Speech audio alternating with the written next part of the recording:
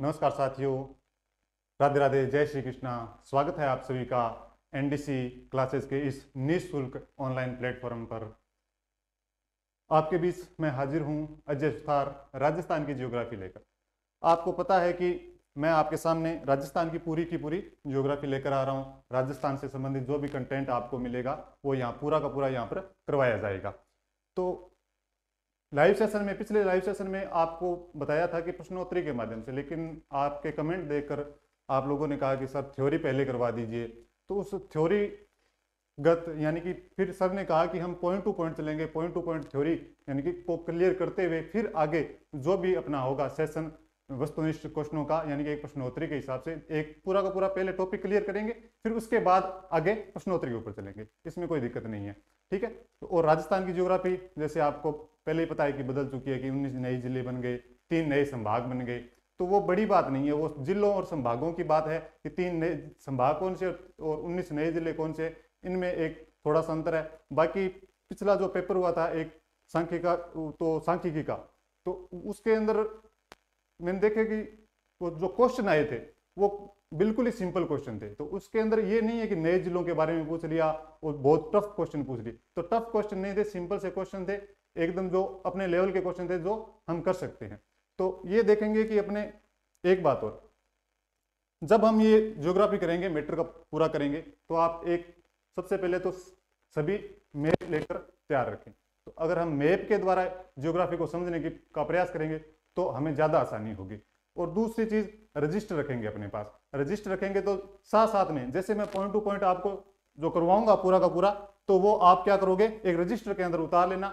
जब अब पूरी ज्योग्राफी हो जाएगी कंप्लीट तो आप देखोगे कि आपके पास पूरे के पूरे साल गर्भित नोट्स ये नहीं है कि मैं आपको बढ़ा चढ़ाकर कुछ बता दूँगा। तो बढ़ा चढ़ाकर बताने से कुछ फ़ायदा है नहीं। अब बढ़ा चढ़ाकर बताने से वो हो जाएगा कि एग्ज़ाम के अंदर आएँगे नहीं, आपको विद्वान तो बनना है नहीं। मैं आपको विद्वान बनाने नहीं आया हूँ, केवल वही क्वेश्चन करवाऊँगा जो आपको एग्ज़ाम के अंदर देखने को मिलेंगे। ठीक है? तो हम शुरू करते हैं पहली क्लास से। ठीक है? देखो, सबसे पहले क्या चीज़ है? हम राजस्थान की स्थिति एवं विस्तार के बारे में पढ़ेंगे। और सबसे पहले आता है अपना नामकरण की। राजस्थान का नामकरण किस प्रकार से हुआ? सबसे पहले इसको क्या कहा गया था? उसके बाद में क्या कहा गया था? और इसका विकसित रूप, अब जब, अब राजस्थान है जो, इसका विकसित रूप हो चुका है तो इसका राजस्थान नाम किस प्रकार पड़ा? और इसको संवैधानिक मान्यता कब मिली? उसको पहले क्या कहा जाता था? इस बारे में पढ़ेंगे। सबसे पहले देखो अपने नामकरण के बारे में पढ़ते हैं। क्या चीज़ है? नामकरण। तो राजस्थान, यह है प्रदेश मरुस्थलीय इलाका होने के कारण। क्या चीज़ है? मरुस्थलीय इलाका।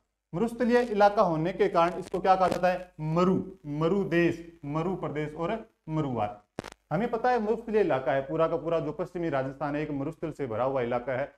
यानी कि जो राजस्थान राजस्थानी में या मारवाड़ी में क्या कहते हैं? धोरे या धरियन इस प्रकार से कहा जाता है। इस कारण इसको मरु मरुपार मरु देश, मरु प्रदेश आदि नामों से जाना जाता है। लेकिन हम बात करें कि इसको ब्रह्म ऋग्वेद के अंदर। ऋग्वेद के अंदर बात करें तो इसको क्या कहा जाता है? वाल्मीकि ने इसको क्या कहा है? वाल्मीकि रामायण के अंदर भी इसको क्या कहा गया है? इसके अंदर भी अगर हम बात करें तो बताओ, अगर आपको पता है तो बताओ।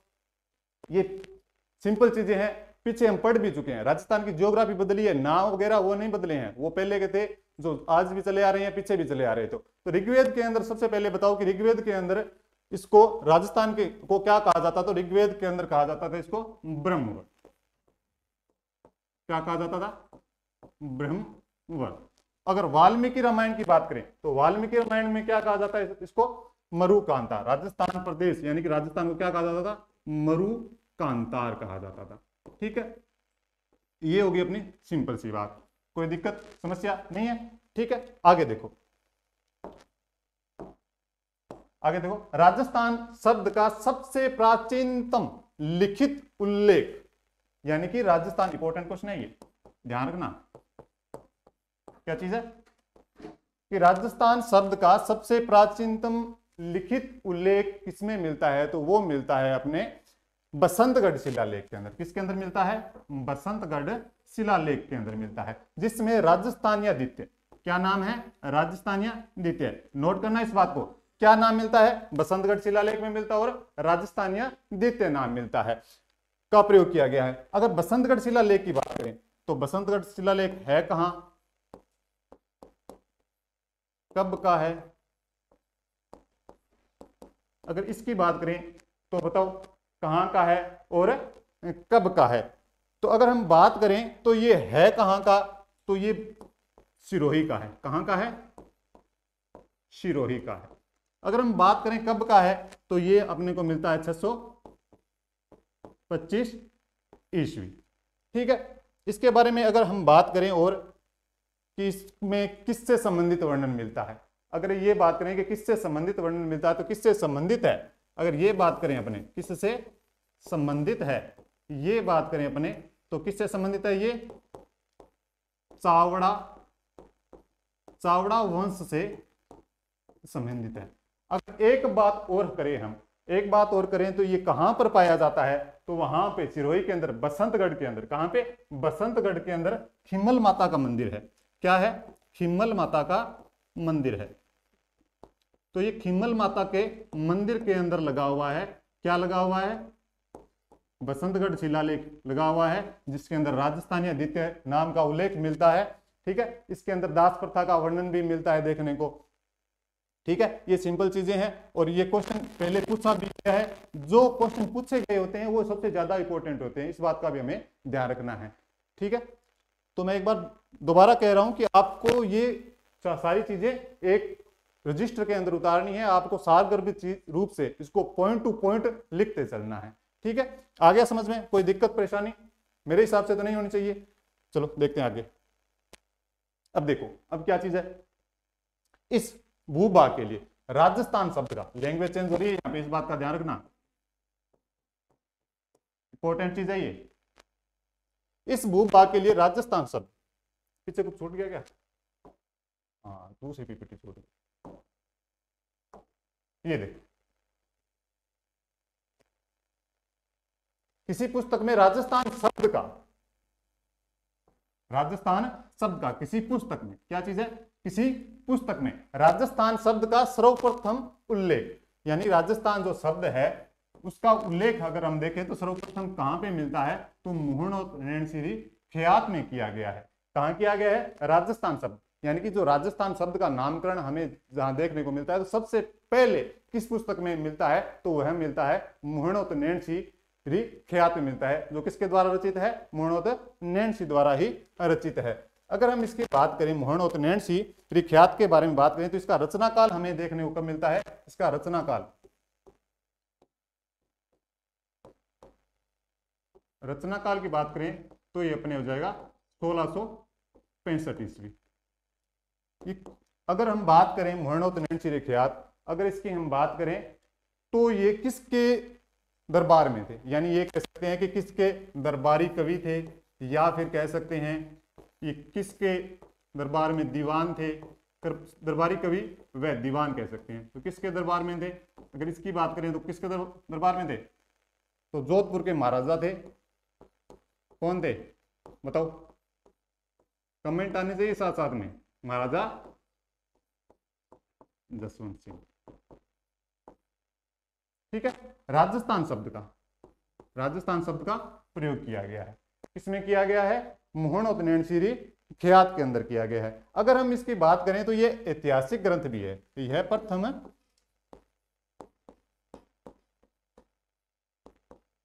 ऐतिहासिक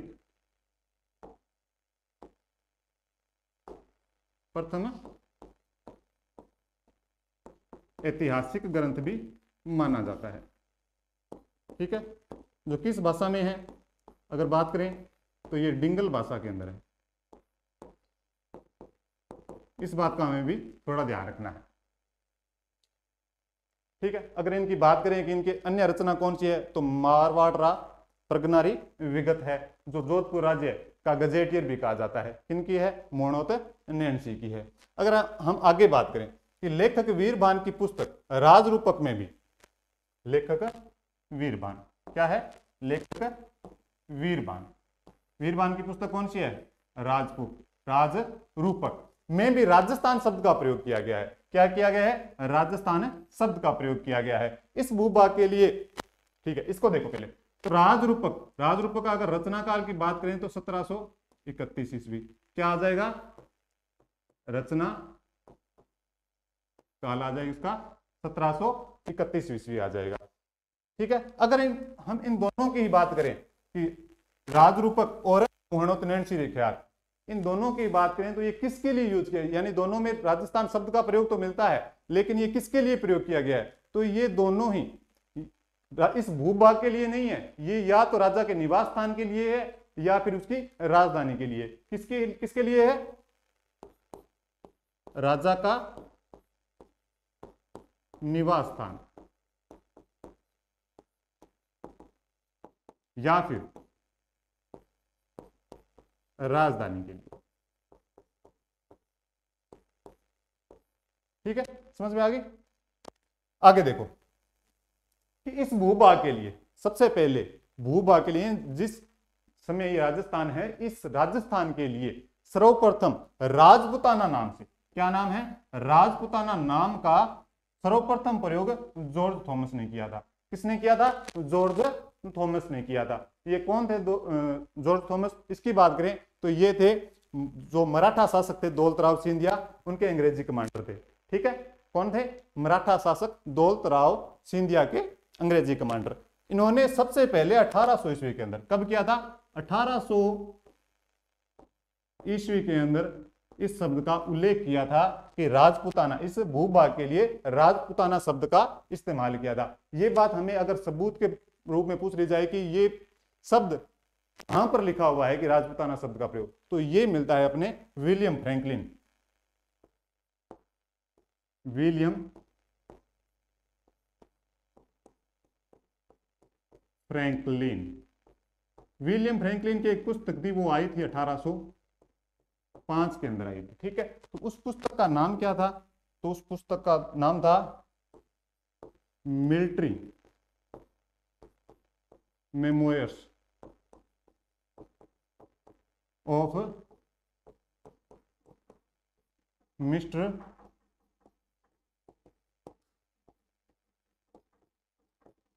George Thomas इसके अंदर ये कहते हैं विलियम फ्रैंकलिन कि जॉर्ज थॉमस ने सबसे पहले स्वतंत्र रूप से इस भूभाग के लिए राजपुताना शब्द का प्रयोग किया है। ठीक है? आगे बात समझ में? यहाँ कोई समस्या? ठीक है? कोई समस्या नहीं है। लिखते रहना है साथ साथ में ध्यान रखना है इस चीज़ का। वो पॉइंट टू पॉइंट चलेंगे, हम कोई दिक्कत वाली बात नहीं है यहाँ पे, ठीक है? देखो आगे। आगे देखो। हाँ इस भूभाग के लिए राजस्थान शब्द का लैंग्वेज चेंज हो रही है यहाँ पे, ध्यान रखना। इस भूभाग के लिए, यानी कि जो वर्तमान अपना राजस्थान है, उस भूभाग के लिए राजस्थान शब्द का पहला प्रयोगकर्ता कौन था? तो उसके बारे में बताना है तो वो कौन हो जाएगा अपना? कर्नल जेम्स टोड हो जाएगा। कौन हो जाएगा? Colonel James Tod. इनको हम क्या कहते हैं? घोड़े वाले बाबा कहते हैं। कर्नल जेम्स टोड को और किस किस नाम से पुकारा जाता है? तो वो ध्यान रखना है कि क्या कहा जाता है? घोड़े वाले बाबा। अगर और बात करें तो क्या कहा जाएगा? राजस्थान इतिहास के पिता भी इनको कहा जाता है। इस बात का हमें हमें विशेष ध्यान रखना है। ये देखो, इनकी पुस्तक है। पुस्तक का नाम क्या है? The annals. The annals and antiquities of Rajasthan. इनकी पुस्तक का नाम है। अगर इसी पुस्तक का दूसरे, दूसरा नाम पूछ दिया जाए तो the central and western Rajput states of India अगर इनके प्रकाशन वर्ष की बात की जाए, यानी कि ये प्रकाशक, प्रकाशन कब हुआ था इनका? तो प्रकाशन दो भागों में हुआ था। इस बात का भी ध्यान रखना है। इस पुस्तक का प्रकाशन तो कितने भाग में हुआ था? दो भाग के अंदर हुआ था। तो पहला प्रकाशन कब हुआ था? अठारह के अंदर। और दूसरा कब हुआ था? तो वो आ जाएगा अपना अठारह बत्तीस ईस्वी।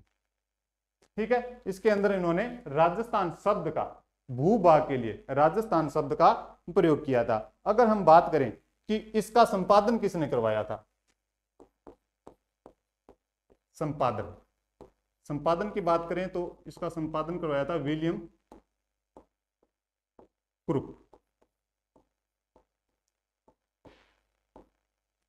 और कर्नल जेम्स टोड एक बात और कहते हैं कि इन राजस्थान शब्द राजस्थान इस भूभाग के लिए रजवाड़ा या रायथान भी नाम देते हैं जो पुरानी भैया चलती है ना उसके आधार पर इनको राजस्थान को रजवाड़ा या रायथान भी कहते हैं। ठीक है? इसके अलावा ये पुस्तक थी जो इन्होंने किन को समर्पित की तो की थी? तो ये किसको की थी, थी अपने गुरु थे इनके। अगर बात करें समर्पित किसको की थी? समर्पित। समर्पित की थी इनके गुरु थे यति ज्ञानचंद्र यति ज्ञान चंद्र कहाँ के थे? मांडलगढ़, भीलवाड़ा। ठीक है? आगे हम बात करें। आगे बात करें तो देखो कि राजस्थान के एकीकरण के दौरान पहली बार एकीकरण कितने चरणों में हुआ था? ये बात करें तो कितने चरणों में हुआ था? सात चरणों में हुआ था। लेकिन राजस्थान के एकीकरण के दौरान पहली बार पहली बार इस शब्द का प्रयोग कब किया गया था? यानी कि 25 मार्च 1948 ईस्वी को राजस्थान शब्द का प्रयोग हुआ, यानी कि जुड़ा था राजस्थान शब्द एक प्रकार से। तो वो चरण कौन सा था? दूसरा चरण था दिनांक थी 25 मार्च सन था उन्नीस सौ अड़तालीस। यानी ये कौन सा चरण था? अगर बात करें तो कौन सा चरण आ जाएगा? दूसरा चरण। और इसका नाम क्या रखा गया था? नाम रखा गया था पूर्व राजस्थान संघ। क्या रखा गया था? पूर्व राजस्थान संघ, जिसकी राजधानी किसको बनाया गया था? कोटा को बनाया गया था। इस बात का भी ध्यान रखना है। जब ये चीज़ें तो तब आ जाएगी जब एकीकरण, इतिहास के अंदर एकीकरण जब टॉपिक आएगा, उस समय आ जाएगी। ठीक है? तो हमें यह ध्यान रखना है कि एकीकरण के समय राजस्थान शब्द सबसे पहले कब जुड़ा था? तो दूसरे चरण में जुड़ा था। 25 मार्च 1948 को जुड़ा था। नाम था पूर्व राजस्थान, संघ था। ठीक है? कोई समस्या? ठीक है? चले आगे। आगे देखो। आगे आ जाएगा अपना कि राजस्थान शब्द को संवैधानिक मान्यता। राजस्थान शब्द को संवैधानिक मान्यता की अगर बात करें तो क्या आ जाएगा? कब मिली थी? 26 जनवरी 1950 को मिली थी। संवैधानिक मान्यता कब मिली थी? 26 जनवरी 1950 को मिली थी। तो 26 जनवरी 1950 की को बात करें तो 26 जनवरी 1950 को क्या हुआ था? तो भारत का संविधान लागू हुआ था। उसी समय इस राजस्थान शब्द को, राजस्थान के इस भूभाग को, राजस्थान शब्द को संवैधानिक मान्यता भी इसी दिन मिल गई थी। इस बात का हमें ध्यान रखना है। तो इस समय 26 जनवरी 1950 को कौन सा चरण था? तो उस समय था अपना छठा चरण। कौन सा था? छठा चरण था। उस समय किसको मिलाया गया था? इस बात का, इस बात की अगर बात करें तो सिरोही को मिलाया गया था। आबू और देलवाड़ा जो क्षेत्र था उसको छोड़कर तो सिरोही को मिलाया गया था। तो अगर इसकी बात करें तो संवैधानिक मान्यता कब मिली थी? 26 जनवरी 1950 क्या लागू हुआ था? संविधान लागू हुआ। ठीक है? उस समय क्या हुआ था? इसको संवैधानिक मान्यता मिल गई थी। कोई बड़ी बात नहीं है ये। पढ़ते आए हैं पहले भी थी। ठीक है? तो इसमें चिंता करने की आवश्यकता नहीं है। आगे देखो। आगे हम बात करें तो वर्तमान स्वरूप। राजस्थान का वर्तमान स्वरूप यानी कि जो अब हम वर्तमान में देख रहे हैं कि राजस्थान का स्वरूप है, जो नक्शा है पूरा का पूरा मानचित्र पे तो वो किसके आधार पर है? वो है एक नवंबर 1956 को जो वर्तमान स्वरूप आया था अपना, एक नवंबर उन्नीस सौ छप्पन। यानी कि उस समय कौन सा चरण था? तो वो अपना आ जाएगा सातवां चरण। कौन सा चरण था? सातवां सातवां चरण था। ठीक है? इस समय एक नवंबर उन्नीस सौ छप्पन को किस किस को मिलाया गया था? तो एक तो आबू देलवाड़ा वाला क्षेत्र जो पीछे रह गया था सिरोही के अंदर, और अजमेर, और झालावाड़ से संबंधित जो भी एक दो क्षेत्र थे, उनको भी मिलाया गया था। ठीक है? तो ये था सातवां चरण था, और एकीकरण की प्रक्रिया क्या हो गई थी? एकीकरण?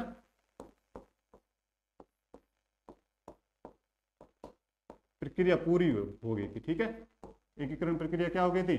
पूरी हो गई थी समय। इस बात का हमें ध्यान रखना है। उसी समय राजस्थान का वर्तमान स्वरूप भी हमारे सामने आ गया था। ठीक है? तो एक बात ध्यान रखना है। इस चीज़ को जो मैं करवा रहा हूँ तो देखो, मैं इस कैमरे को पहली बार ही फेस कर रहा हूँ। ये ज़्यादा आदत नहीं है मुझे। तो हेजिटेशन होना स्वाभाविक है। मुझे होगी इस प्रकार की। तो आपको ध्यान रखना है कि इस चीज़ को इग्नोर करते हुए जो मेरी घबराहट है, उसको आपको इग्नोर करना है। केवल आपको इस कंटेंट पर ध्यान रखना है। मैं दो चार बार आपके सामने आ जाऊँगा, क्लास से ले लूँगा तो उसके बाद में मेरी हेजिटेशन है, वो गायब हो जाएगी। उसके बाद मैं आपसे निरंतर रूप से जुड़ूँगा और कोई समस्या नहीं आएगी। ठीक है, इस बात का थोड़ा ध्यान रखना है कि हेजिटेशन है, पहली बार मैं आपको पढ़ा रहा हूँ। ठीक है तो ये आ गया समझ में? कोई परेशानी?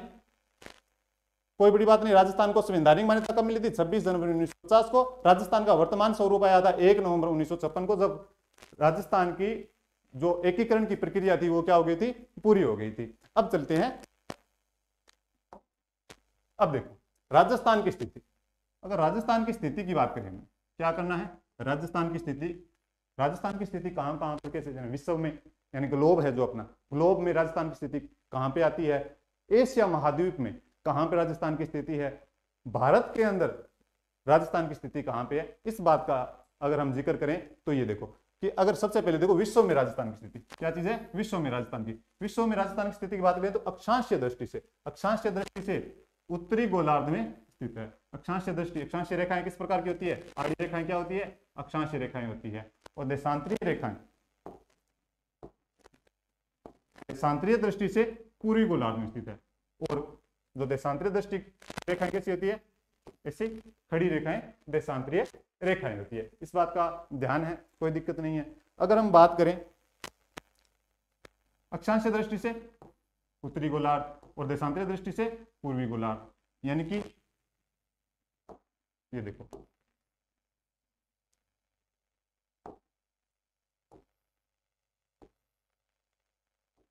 ऊपर क्या आ जाएगा? उत्तर। नीचे क्या आ जाएगा?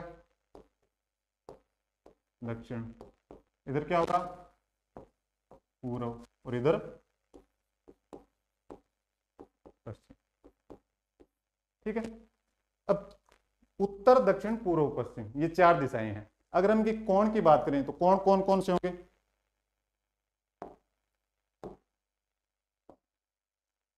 इधर आ जाएगा अपना।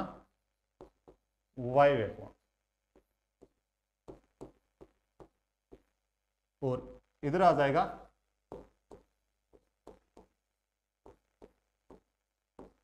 ईशान। ठीक है? ये हो गया। आग्नेय कोण। और ये हो गया। नृत्य कोण। ठीक है? उत्तर पूर्वी गोलार्ध के अंदर स्थित है तो अपने ध्यान रखना, उत्तर पूर्वी गोलार्ध कौन सा आ जाएगा? अगर विश्व में बात करें तो ये आ जाएगा। कौन सा आ जाएगा? ये आ जाएगा। इस जगह क्या है? राजस्थान स्थित है। तो कौन से कोण के अंदर होगा? ईशान कोण के अंदर होगा। अगर विश्व में बात करें तो कौन से कौन से कोण में होगा? ईशान कोण में होगा और दिशा होगी उत्तर पूर्वी दिशा। ठीक है? अगर हम बात करें एशिया महाद्वीप में, एशिया महाद्वीप में राजस्थान की स्थिति की बात करें तो कहाँ पे होगा? दक्षिण पश्चिम दिशा के अंदर। कहाँ पे होगा? दक्षिण पश्चिम दिशा। तो इसके अंदर बताओ दक्षिण पश्चिम दिशा कौन सी है? दक्षिण यहाँ पे रहा, पश्चिम यहाँ यहाँ पे रहा।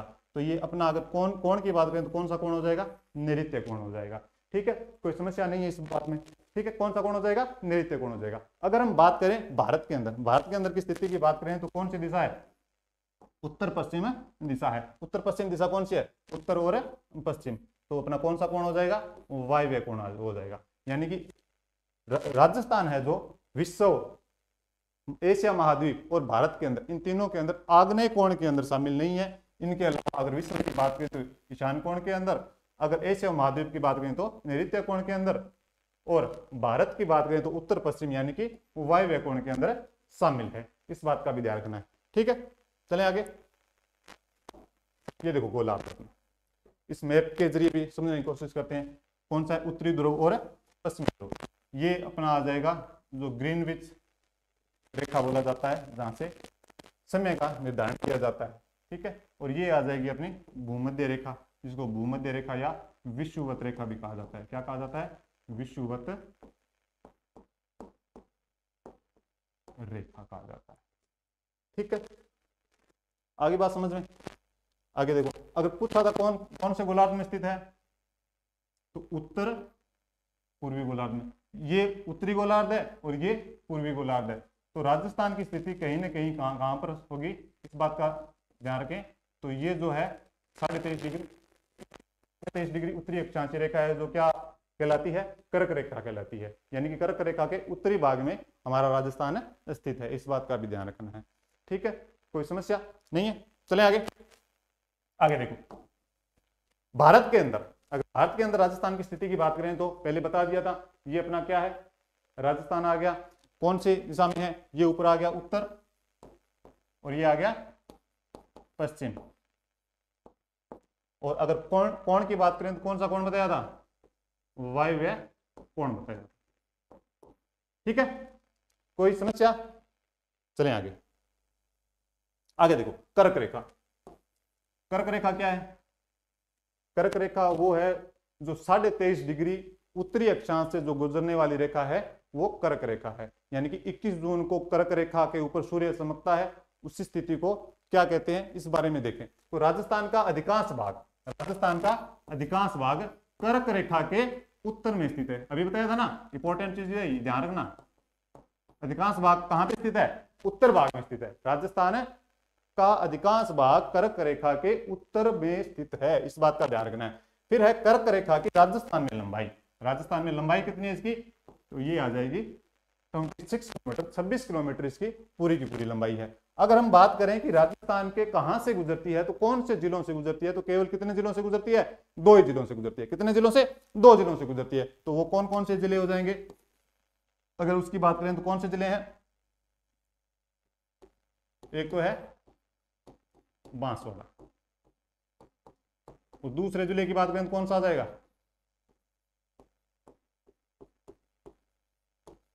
डूंगरपुर आ जाएगा। अगर बांसवाड़ा की बात करें तो बांसवाड़ा की कौन सा शहर है जिसके ऊपर जो कर्क रेखा का प्रभाव कर्क रेखा यानी कि सूर्य सीधा चमकता है 21 जून को तो वो आ जाएगा। यानी कि कहाँ से कर्क रेखा गुजरती है तो वो आ जाएगा कुशलगढ़। कौन सा है? कुशलगढ़ कैसे कर्क रेखा? कैसे? कुशलगढ़। यानी कि इससे यहाँ से बांसवाड़ा के कुशलगढ़ शहर से कर्क रेखा गुजरती है। अगर हम बात करें डूंगरपुर ज़िले की, अगर डूंगरपुर ज़िले की बात करें तो वो क्या आ जाएगा? डूंगरपुर ज़िले के अंदर चीखली गाँव है। ठीक है? कौन सा गाँव है? चीखली गाँव है। यानी कि जब कर्क रेखा चीखली गाँव से गुजरती है, यानी कि सूर्य सीधा चमकता है तो लोगों की धूप से क्या निकलती है? चीख निकलती है। इस बात से आप ध्यान रख सकते हो कि कर्क रेखा का डूंगरपुर डूंगरपुर का दक्षिणी भाग है ये, ठीक है? डूंगरपुर का कौन सा भाग है? दक्षिणी भाग है। चीखली गाँव, वहाँ से गुजरती है कर्क रेखा। यानी कि दो जिलों से गुजरती है कौन कौन से? है बांसवाड़ा और डूंगरपुर जिला है। अगर हम बात करें कि कर्क रेखा के सर्वाधिक नज़दीक शहर कौन सा?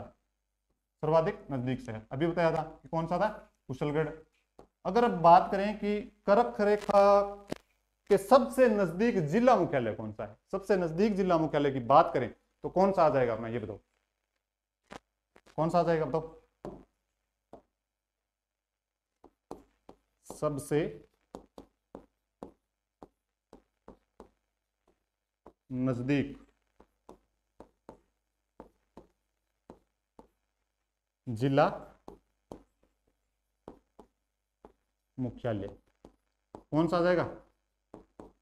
बांसवाड़ा। ठीक है? अगर हम बात करें कि सबसे दूर जिला मुख्यालय कौन सा होगा? जिलों का चेंज हुआ है तो बताओ। कोई परिवर्तन हुआ है क्या इसके अंदर? अगर दूर की बात करें तो दूर की बात करें तो कौन सा आ जाएगा?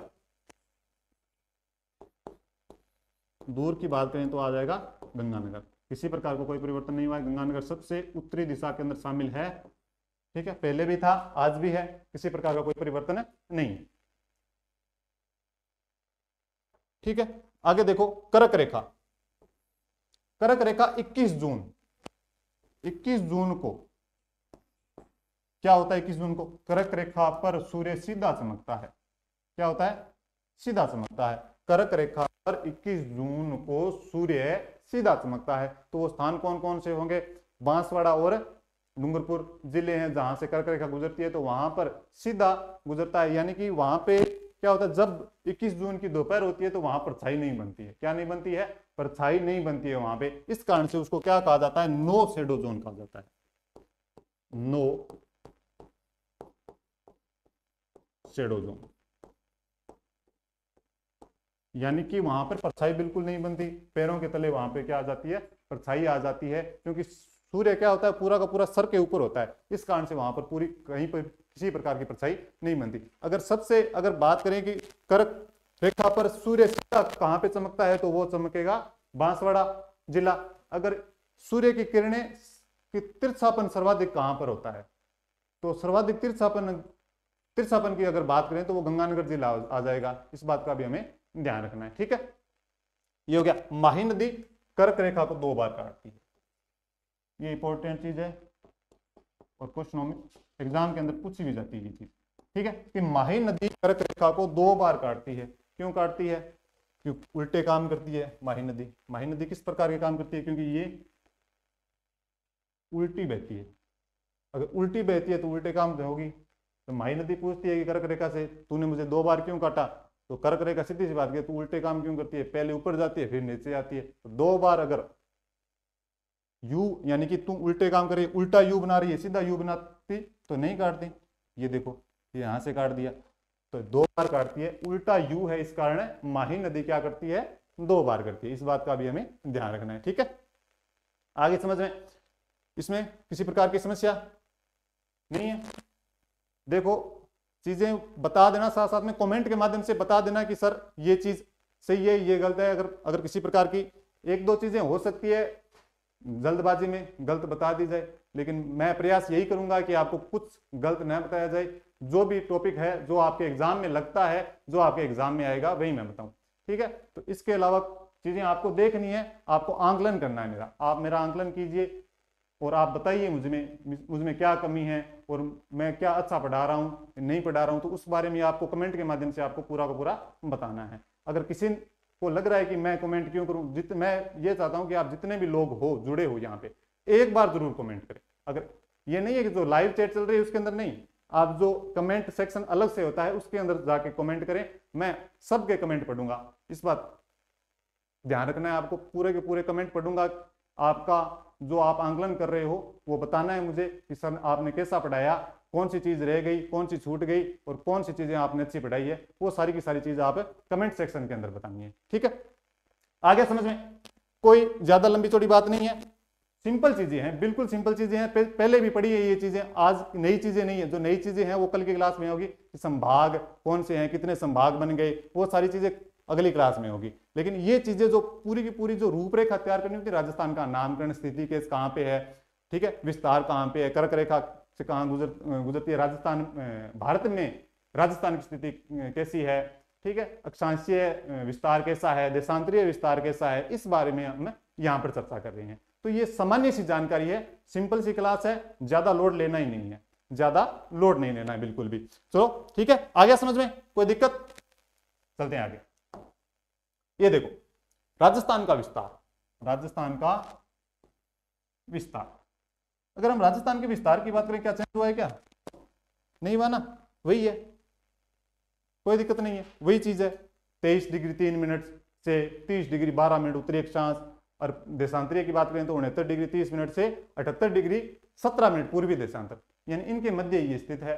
इससे ज़्यादा कोई लंबी चौड़ी बात नहीं है। वही वही पेटा प्रश्न है। वो आता भी है। और सीधा न पूछा जाए तो ये पूछ लिया जाता है कि गलत कथन कौन सा है, सत्य कथन कौन सा है। उलझाकर पूछ सकता है कि बताओ, तेईस डिग्री उत्तरी अक्षांश से तेईस डिग्री बारह मिनट दक्षिणी अक्षांश। अरे, उत्तरी अक्षांश तो उत्तरी अक्षांश में रहेगा ना, दक्षिण में कैसा चले जाएगा? यानी अगर उत्तरी गोलार्ध के अंदर हम, इस बात का ध्यान रखना है कि अगर हम उत्तरी गोलार्ध में हैं तो उत्तरी अक्षांश होगा। अगर हम पूर्वी गोलार्ध में हैं तो पूर्वी देशांतर ही होगा। वहाँ पर पूर्वी से पश्चिमी मत कर देना, इस बात का ध्यान रखना है। क्या करना है? उत्तरी गोलार्ध जो विश्व के अंदर है, अब ग्लोब के अंदर हम देखें तो हमारा जो राजस्थान है, किस कौन से भाग में स्थित है? तो उत्तरी गोलार्ध और पूर्वी गोलार्ध में, यानी कि उत्तर पूर्वी गोलार्ध के अंदर है। तो उत्तर पूर्वी गोलार्ध होने के कारण जो अक्षांश तो है, अक्षांशीय विस्तार तो अपना कैसा हो जाएगा? उत्तरी अक्षांश में हो जाएगा। और देशांतरीय विस्तार किसमें हो जाएगा? पूर्वी देशांतर में हो जाएगा। इस बात का भी हमें ध्यान रखना है। इस बात का ध्यान कई लोग गलत कर देते हैं। इस बात का थोड़ा विशेष ध्यान रखना है। लैंग्वेज का क्वेश्चन है, ज़्यादा बड़ा क्वेश्चन है नहीं ठीक है? तेईस डिग्री, तीन मिनट उत्तरी अक्षांश से, तीस डिग्री उत्तरी अक्षांश। सिंपल क्वेश्चन है। लैंग्वेज ये लैंग्वेज से पूछा जाता है सत्य कौन सा है, असत्य कौन सा है, इस प्रकार के क्वेश्चन आते हैं। फिर आता है उनहत्तर डिग्री, तीस मिनट पूर्वी देशांतर से, अठहत्तर डिग्री सत्रह मिनट पूर्वी देशांतर। अगर हम इनकी बात करें कि तो इनके जो देशांतरीय विस्तार है और अक्षांशीय विस्तार है कितनों के मध्य है? यानी कि जो उत्तरी अक्षांश है का जो विस्तार है, ये कितने कहाँ तक बंटा हुआ है? तो तेईस डिग्री तीन मिनट उत्तरी अक्षांश से तीस डिग्री बारह मिनट है। तो ये कितना आ जाएगा? सात डिग्री नौ मिनट। सात डिग्री नौ मिनट अक्षांशीय विस्तार है इसका। अक्षांशीय विस्तार कितना है? सात डिग्री नौ मिनट। ठीक है? अगर देशांतरीय विस्तार की बात करें तो कितना आ जाएगा? आठ डिग्री सैतालीस मिनट देशांतरीय विस्तार।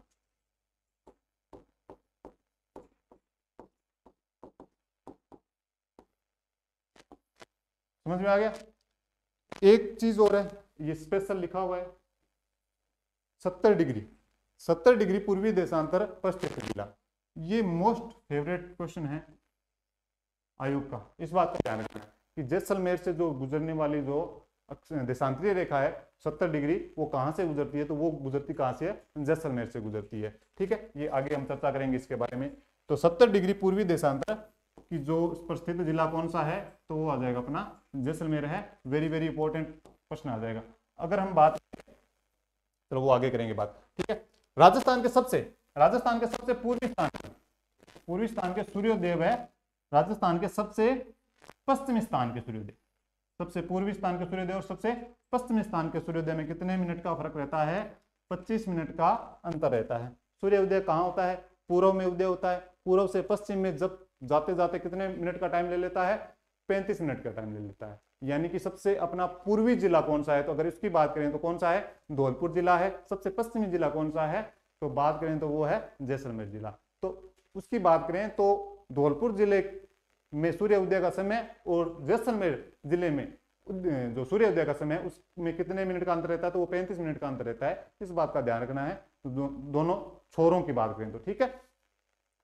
अगर हम एग्जैक्ट एग्जैक्ट टाइम की बात करें देखो आठ डिग्री सैतालीस मिनट ये बात करें तो एक देशांतरीय रेखाएँ क्या होती है? खड़ी रेखाएँ होती है। इस एक देशांतरीय रेखा के अंदर चार मिनट का अंतर होता है। कितने मिनट का अंतर होता है? चार मिनट का अंतर होता है। अगर चार मिनट का अंतर होता है तो ये जो देशांतरीय विस्तार है, वो आठ डिग्री सैंतालीस मिनट का है। कितना है? आठ डिग्री सैंतालीस मिनट का है। तो इसके हिसाब से अगर आठ को चार से गुणा करने पर कितना आ जाएगा? आठ को अगर चार से गुणा करेंगे, कितना आ जाएगा? आठ इंटू चार, कितना आ जाएगा? बत्तीस मिनट। ये सीधा ही आ गया। लेकिन ये जो ऊपर सैंतालीस मिनट का समय है, इसकी भी तो वैल्यू है ना? इस वैल्यू है तो इसकी वैल्यू में तीन मिनट आ जाएगा। अगर साठ होता तो पूरा का पूरा नौ हो जाता। अगर नौ से गुणा करने पर तो कितने मिनट का आ जाता? छत्तीस का अंतर आ जाता। लेकिन आठ डिग्री सैंतालीस मिनट है। आठ डिग्री सैंतालीस मिनट होने के कारण ऊपर का समय कितना आ जाएगा? प्लस तीन और जुड़ जाएगा, कितना हो जाएगा? पैंतीस मिनट अगर इसकी एग्जैक्ट टाइम की बात करें तो ये आ जाएगा पैंतीस मिनट आठ सेकेंड आ जाएगा ठीक है? सिंपल सा क्वेश्चन है ये। पैंतीस मिनट आठ सेकंड। पूछा जाता है। ये मत सोचना, पूछा नहीं जाता। पूछा जाता है ये क्वेश्चन आठ पैंतीस मिनट है, आठ सेकंड आ जाएगा। ठीक है? और सबसे बड़ी बात यह है, ठीक है? आ गया? कोई दिक्कत नहीं है। तो सबसे पूर्वी स्थानों पर सूर्योदय राजस्थान के सबसे पश्चिमी स्थान के सूर्योदय में लगभग 35 मिनट का अंतर रहता है। अगर एग्जैक्ट टाइम की बात करें तो 35 मिनट 8 सेकंड का समय रहता है। इस बात का ध्यान रखना है। ठीक है? आगे चलते हैं। ये देखो, राजस्थान का मैप विस्तार से संबंधित बताया गया है कि लंबाई कितनी है, चौड़ाई कितनी है, इसकी भी बात करें तो देखो।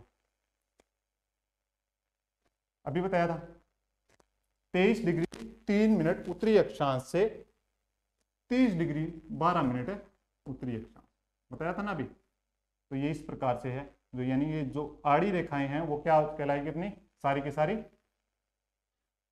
अक्षांशीय रेखाएँ कहलाएगी। ठीक है? इसके अलावा ये देखो यहाँ पर क्या आ जाएगा? उनहत्तर डिग्री तीस मिनट से अठहत्तर डिग्री सत्रह मिनट। ठीक है? ये आ जाएगा पूर्वी देशांतर। ये कुछ, ये इस ये इस बात का भी ध्यान रखना है कि उनहत्तर यहाँ पे है, वहाँ पे धौलपुर पर मत कर देना। कहाँ पे है? जैसे से शुरू होता है और जाता कहाँ तक है? धौलपुर तक जाता है। कुछ क्या कर देते हैं कि उनहत्तर तीस यहाँ कर देते हैं, अठहत्तर सत्रह यहाँ पर कर देते हैं। बात का भी ध्यान रखना है। यानी कि जो देशांतरीय विस्तार कहाँ से शुरू हो रहा है ये जो इंग्लैंड, जो ग्रीन वेच रेखा है, वो कहाँ से शुरू चलती है? तो इंग्लैंड से चलती है। तो इंग्लैंड राजस्थान के कौन सी दिशा में है?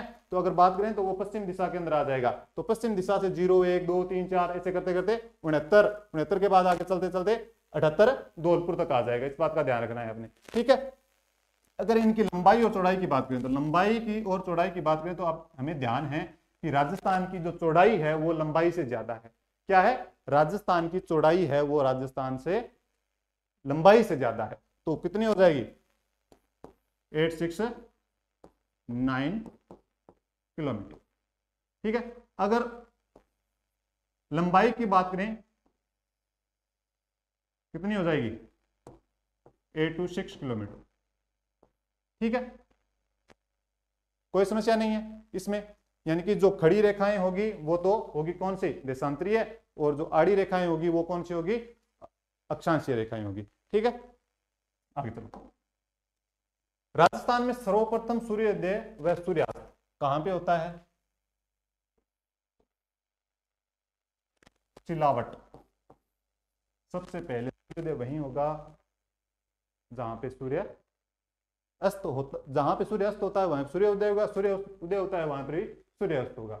ये नहीं है। अगर पूछ लिया जाए कि राजस्थान में सर्वप्रथम सूर्य उदय कहाँ होता है तो सिलावट में होता है। अगर पूछ लिया जाए कि राजस्थान में सबसे बाद में सूर्य अस्त कहाँ पे होता है तो कहाँ पे होगा? कटरा में। अगर पूछ लिया जाए कि राजस्थान में सबसे पहले सूर्य अस्त कहाँ पे होता है? मुझे कटरा, जैसलमेर में उसी अरे, इस बात का ध्यान रखना है कि जहाँ पे सूर्य उदय पहले होता है, वहीं पे सूर्य अस्त भी पहले होगा। ऐसे मत कर देना कि सूर्य उदय तो पहले आप करवा रहे हो धौलपुर के अंदर, और सूर्य अस्त आप पहले करवा रहे हो कटरा जैसलमेर के अंदर। तो इस बात का उल्टा है जैसा है, जहाँ पे पहले सूर्य उदय होगा, वहाँ पर भी सूर्य अस्त होगा। इस बात का भी अपने ध्यान रखना है। सिंपल सा क्वेश्चन है, केवल लैंग्वेज का फ़र्क है। लैंग्वेज में आपको फंसाएगा, इसके अलावा और कुछ नहीं है। बिल्कुल सिंपल क्वेश्चन है। ठीक है? कि अगर बात करें राजस्थान में सर्वप्रथम सूर्योदय वह सूर्य सूर्य कहाँ होता है? तो सिलावट होता है, ये राजा खेड़ा तहसील है। कौन सी तहसील है? राजा खेड़ा तहसील है। राजस्थान में सबसे बाद में, सबसे बाद में सूर्योदय व सूर्यास्त। कहाँ होता है? तो कटरा, सम तहसील। कहाँ होता है? सम तहसील जैसलमेर के अंदर होता है। ठीक है? सूर्य पहले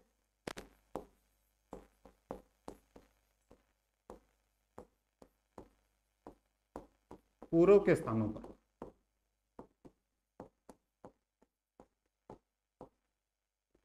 सूर्योदय, एक मिनट। सूर्य पहले पूर्व के स्थानों पर उदय व अस्त होता है, इस बात का ध्यान रखना है, ठीक है? अगर बात करें तो सूर्य बाद में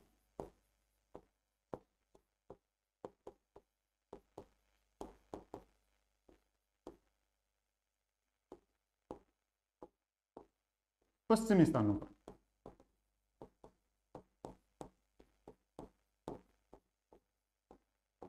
उद्यव अस्त होता है सूर्य उदय पहले कहाँ पर होगा पूर्व के स्थानों पर होगा अस्त भी कहाँ पर होगा पूर्व के स्थानों पर पहले होगा अगर बाद की बात करें तो पश्चिम के स्थानों पर बाद में उदय होगा और अस्त भी बाद में होगा ठीक है सिंपल सी चीज़ें हैं ठीक है चलें आगे। आगे देखो, राजस्थान की सीमाएँ व विस्तार। ये दोबारा आ गया वैसे, मेरे द्वारा समझ लिया ना आपने? दोबारा आ गया ये चीज़ें। ये देखो तो क्या लिखा है कि राजस्थान की उत्तर से दक्षिण लंबाई, उत्तर से दक्षिण लंबाई कितनी है? 826 किलोमीटर। क्या बताया था? ऐसे जो लंबाई थी वो कितनी थी? 826 किलोमीटर। अब ये है कोणा गाँव कोणा गाँव गंगानगर से बोकुंड। ये थोड़ा मिसप्रिंट हो गया। बोरकुंड है ये ठीक है? बोरकुंड। कहीं पे बोरकुंडा भी देखने को मिलता है, लेकिन बोरकुंड है ये। बोरकुंड सज्जनगढ़, बांसवाड़ा के अंदर। कोणा गाँव यानी कि यहाँ पर कौन सा गाँव होगा? कोणा गाँव कहाँ पे है? गंगानगर में है। और यहाँ पे कौन सा होगा? बोरकुंड। ठीक है? यानी कि इसकी लंबाई भी कितनी है? 826 किलोमीटर है। अगर हम राजस्थान की पूर्व से पश्चिम लंबाई की बात करें, यानी कि जो राजस्थान की चौड़ाई की बात करें तो कितनी आ जाएगी? Eight six nine kilometre. ठीक है? अगर हम बात करें सिलावट राजाखेड़ा धौलपुर, यानी कि जो पूर्वी स्थान है, वो कौन सा होगा? सिलावट। कहाँ पे है? धौलपुर के अंदर है। तहसील कौन सी है? राजाखेड़ा तहसील है। ठीक है? अगर हम बात करें, पश्चिमी स्थान पश्चिमी स्थान कौन सा हो जाएगा? कटरा हो जाएगा। अगर कहाँ पे है? जैसलमेर के अंदर है। अगर तहसील की बात करें तो सम तहसील आ जाएगी अपनी। इस बात का भी हमें ध्यान रखना है। ठीक है? अब देखो, वापस चलते हैं पीछे एक बार, मैप के अंदर। ये हो गई लंबाई और चौड़ाई। अगर ये पूछ लिया जाए, विकर्ण की लंबाई, इस प्रकार से। ये क्या है? उत्तर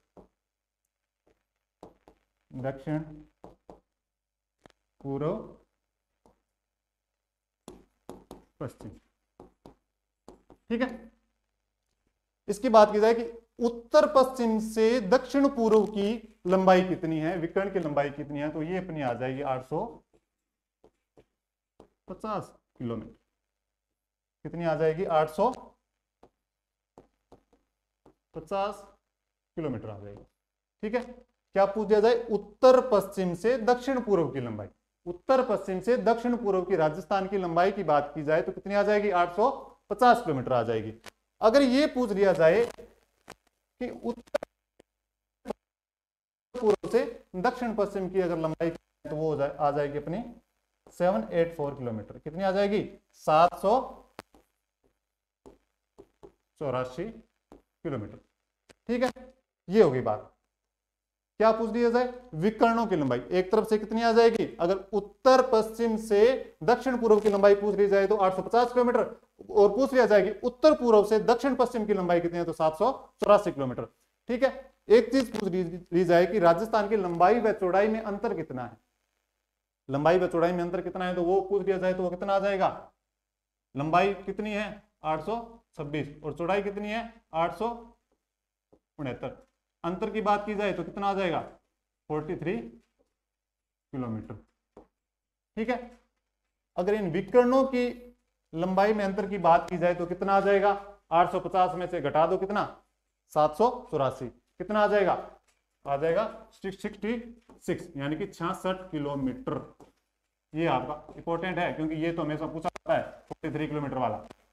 43 किलोमीटर वाला क्वेश्चन पूछा जाता है, लेकिन ये इंपॉर्टेंट हो जाएगा कि 66 किलोमीटर ये याद रखना है कि अगर विकर्णों की लंबाई में अंतर के बारे में पूछ लिया जाए तो कितना आ जाएगा? 66 यानी कि छियासठ किलोमीटर आपका आंसर हो जाएगा। इस बात का भी हमें ध्यान रखना है। सिंपल सी चीज़ें हैं। ठीक है, चले आगे। हो गया? हम्म। ये भी हो गया? ठीक है। आगे देखो। राजस्थान का मध्यवर्ती जिला। अगर हम मध्यवर्ती ज़िले के बारे में बात करें, मध्यवर्ती ज़िले के बारे में बात करें तो कौन सा आ जाएगा? नागौर आ जाएगा। चेंज हुआ कि किसी के दिमाग में आ रहा होगा कि सर डीडवाणा कुचामन तो नहीं हो गया क्या? नहीं डीडवाणा कुचामन नहीं हुआ है, नागौर ही है। नागौर ही है, ठीक है? इस बात का ध्यान रखना मध्यवर्ती जिला कौन सा है? नागौर है। और मध्यवर्ती गाँव कौन सा है? अगर ये पूछ दिया जाए तो लामपोलाई गाँव है, मेड़ता तहसील के अंदर है। लामपोलाई गाँव है। यानी कि मेड़ता तहसील के अंदर लोग क्या बैठे हैं? एक मध्यवर्ती गाँव है, वहाँ पे लैंप लेके बैठे हैं और बता रहे हैं कि क्या है हमारा जो गाँव है वो मध्यवर्ती गाँव है राजस्थान का। ठीक है? इस प्रकार से आप जोड़ सकते हो। लाम्पो लाई ये तो किसने मान रखा है? आयोग ने मान रखा है। अगर हम बात करें सैटेलाइट के अंदर, अगर सैटेलाइट के अंदर बात करें तो मध्यवर्ती गाँव किसको माना गया? ये इंपॉर्टेंट है। अगर लाम्पोलाई आ जाए ना तो लाम्पोलाई करना है। अगर क्वेश्चन पूछ लिया जाए कि मध्यवर्ती गाँव कौन सा है तो लाम्पोलाई करना है। अगर पूछ लिया जाए लाम्पोलाई ऑप्शन के अंदर ना हो तो कौन सा करोगे? तो करोगे सैटेलाइट के अंदर। अगर सैटेलाइट के अंदर बात करें, सैटेलाइट के अंदर कौन सा दिखा रहा है? गगराना गाँव ठीक है? ये करना है। ध्यान रखना है यानी कि ज़्यादा पूछा ये जाता है, यही पूछा जाता है लामपुलाई थोड़ा सा अगर दिमाग में रहेगी चीज़ें तो थोड़ा ध्यान रखें। अगर लामपुलाई ऑप्शन के अंदर ना हो और गगराना ऑप्शन के अंदर दे दिया जाए तो हमें कौन सा करना होगा? गगराना करना होगा। इस बात का ध्यान रखना है हमें। ठीक है? सिंपल सा क्वेश्चन है। कोई बड़ी बात नहीं है। आगे देखो। राजस्थान की आकृति। राजस्थान की आकृति की बात करें तो किस प्रकार की है? पतंगाकार है। किस प्रकार की है? पतंगाकार है। और विषम कोणीय चतुर्भुज। एक चतुर्भुज है जो विषम कोण है उसके इस प्रकार की आकृति किसकी है? राजस्थान की पतंगाकार है। पतंगाकार पतंग किस प्रकार की होती है? इस प्रकार की होती है ना? इस प्रकार राजस्थान की आकृति बताई जाती है। ठीक है? या फिर विषम कोणीय चतुर्भुज के समान है। चतुर्भुज है जो जिसके विषम कोण है। राजस्थान की स्थलाकृति, राजस्थान की स्थलाकृति पहली बार बताने वाला विद्वान कौन था? तो इसकी बात करें तो टी एच हेंडले था। कौन था? टी एच हैंडले था। टी एच हैंडले था कौन? तो टी एच हैंडले था जयपुर रियासत का जयपुर रियासत का हेल्थ ऑफिसर।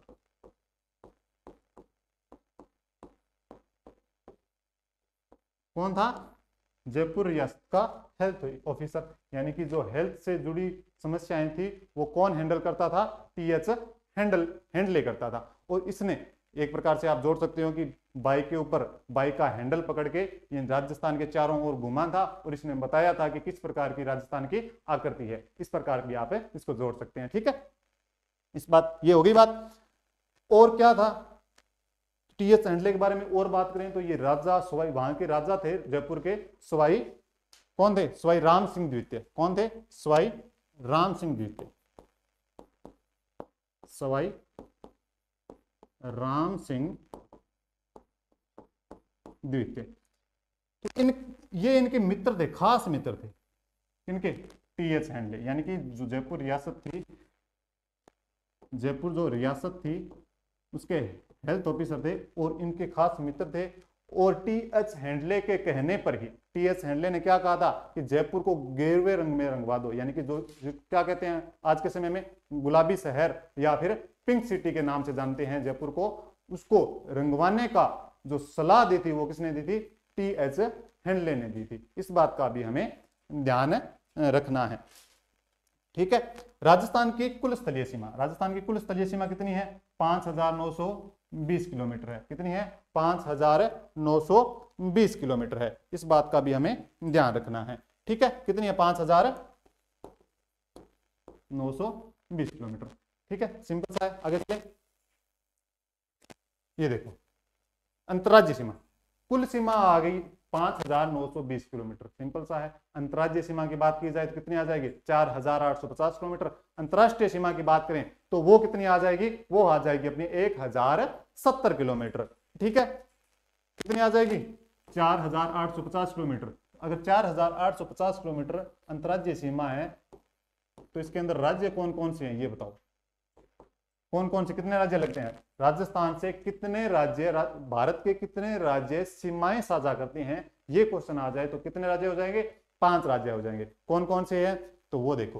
पहला ऊपर ऊपर कौन सा होगा? पंजाब आ जाएगा। कौन सा आ जाएगा? पंजाब आ जाएगा। उसके बाद कौन सा है? हरियाणा आ जाएगा। उसके बाद हरियाणा के लगता ही कौन सा है? यूपी आ जाएगा। कौन सा आ जाएगा? यूपी आ जाएगा। फिर एमपी आ जाएगा। फिर नीचे नीचे कौन सा है? गुजरात। तो ये पाँच राज्य सीमा साझा करते हैं और ये कुल मिलाकर कितने किलोमीटर की सीमा साझा करते हैं? चार हज़ार आठ सौ पचास किलोमीटर की सीमा साझा करते हैं। ठीक है? आगे देखो अंतरराष्ट्रीय सीमा। अंतरराष्ट्रीय सीमा की बात करें तो राजस्थान का एक ही पड़ोसी देश जो सीमा बनाता है, वो है पाकिस्तान। कौन सा है? पाकिस्तान।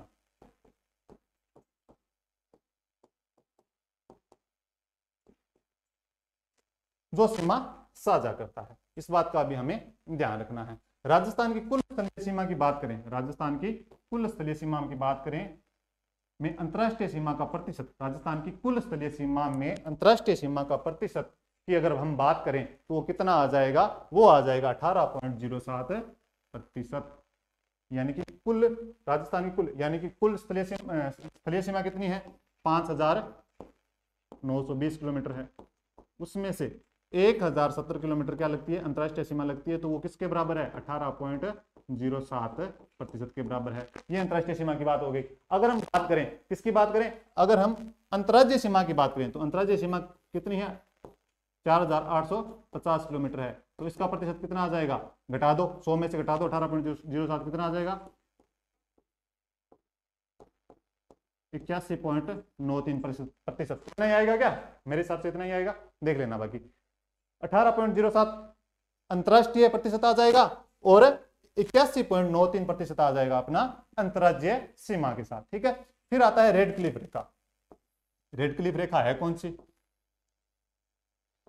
जो भारत की पाकिस्तान के साथ लगती है। जो भारत की पाकिस्तान के साथ लगती है, वो रेखा है रेड क्लिफ रेखा, ठीक है? का कितना प्रतिशत भाग राजस्थान में है? रेड क्लिफ रेखा का कितना प्रतिशत भाग राजस्थान में है? बत्तीस पॉइंट एक नौ प्रतिशत। कितना है? बत्तीस पॉइंट एक नौ प्रतिशत। कितनी किलोमीटर की सीमा बनाता है? एक हज़ार सत्तर किलोमीटर की। अगर भारत की, पाकिस्तान की कुल स्थलीय सीमा कितनी बनाता है? तो वो हो जाएगा अपना तीन हज़ार तीन सौ दस किलोमीटर। तीन हज़ार तीन सौ दस किलोमीटर तो बनती है भारत के साथ। किसके साथ? भारत के साथ उसमें से राजस्थान के साथ कितनी लगती है? एक हज़ार सत्तर किलोमीटर लगती है। ठीक है? आगे बात समझ में? ये हो गया पूरा। और हाँ रेड क्लिप रेखा। रेड क्लिप रेखा के बारे में हम बात करें। तो रेड क्लिप रेखा के अध्यक्ष कौन थे? इसको बनाने वाले, इसका निर्धारण करने वाले तो वो कौन थे? Sir Cyril. रेड क्लिप तो ये इनके अध्यक्ष थे। ठीक है? और बात की जाए, इस रेखा का निर्धारण किस प्रकार से किया गया था? अगर इसके निर्धारण की बात करें तो इसका निर्धारण किया गया था, मानचित्र पर निर्धारण किया गया था, कलम के माध्यम से। मानचित्र पर कलम के द्वारा इसका निर्धारण किया गया था। किसका? रेड क्लिफ रेखा का मानचित्र पर।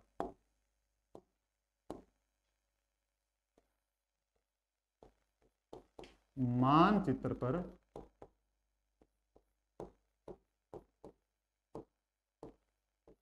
कलम से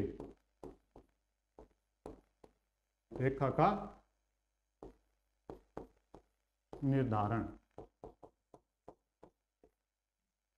आगे लिख सकते हो, विश्व में एकमात्र, विश्व में एक मात्र। यानी कि एकमात्र रेखा थी जिसका निर्धारण क्या कहाँ पर किया गया था? केवल मानचित्र पर कर लिया गया था कलम के द्वारा कि ये यहाँ से, ऐसे ऐसे, ये भाग पाकिस्तान का होगा और ये भाग भारत का होगा। ठीक है? आ गया समझ में? ये आपकी इंपॉर्टेंट क्लास हो गई। कोई समस्या इस क्लास के अंदर? होगी क्लास पूरी कंप्लीट और ये देखो आपको ध्यान रखना है कि मैंने पहले बताया कि इसके अंदर ज़्यादा मैप का खेल नहीं था। आगे जैसे भी हम आगे बढ़ेंगे तो मैप का खेल शानदार तरीके से होगा। मैप के अंदर हम समझेंगे पूरी तरीके से। तो सबसे पहले यही रिक्वेस्ट है मेरी कि जब भी आप क्लास देखने बैठो तो सबसे पहले आप अपने पास मैप रखो, जिससे आपको सुविधा हो जाएगी कि क्या चीज़ें कहाँ पर है, कौन सी चीज़ें कहाँ पर है। तो वो सारी चीज़ें एक प्रकार से सिंपल हो जाएगी आपके लिए भी।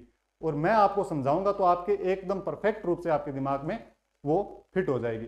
तो इस बात का पहले ध्यान रखना है कि आपके पास मैप होना चाहिए। दूसरी बात यह है कि आप रजिस्टर रखो, तैयार करके रखो, ठीक है? जिससे आप ये सारी की सारी चीज़ें क्या हो, उतार सको और मैं आपको पूरी राजस्थान की जियोग्राफी करवाऊँगा और जब आप देखोगे देखोगे कि जब पूरी जियोग्राफी हो जाएगी तो आपके पास एक प्रकार से सारगर्भित नोट्स आपके पास पूरे कंप्लीट हो जाएँगे। मैं दावा करता हूँ कि इसमें से आपका एक भी क्वेश्चन गलत नहीं होगा। ईमानदारी से पढ़ना है। ये नहीं है कि हाँ देख लिया आ रहे हैं, सर जा रहे हैं, पढ़ा रहे हैं या नहीं पढ़ा रहे हैं, कोई मतलब नहीं है आपको। ईमानदारी से पढ़ना है एक एक चीज़ को नोट करना है। तो अगर नोट करोगे तो आप फ़र्क ज़रूर देखोगे। और दूसरी बात ये कि आप आंकलन करना है कि आंकलन करो मेरा। पहली बार मैं क्लास ले रहा हूँ तो हेजिटेशन तो देखो, स्वाभाविक सी बात है, वो होगी ही।